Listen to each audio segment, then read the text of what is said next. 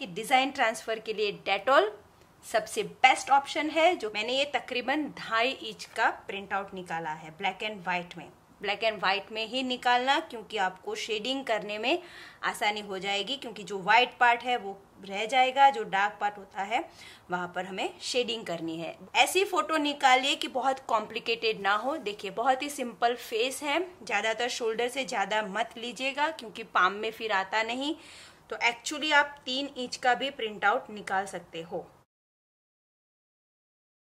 अभी डिज़ाइन इस तरह है, लेकिन मैं ट्रांसफ़र करूँगी डिज़ाइन ये फ्लिप हो जाएगी। अगर आपको ऐसा नहीं करना है तो आप ट्रेसिंग पेपर का इस्तेमाल कर सकते हो। और जो अच्छी बारीक वाली डिटेल्स हैं, उसको पहले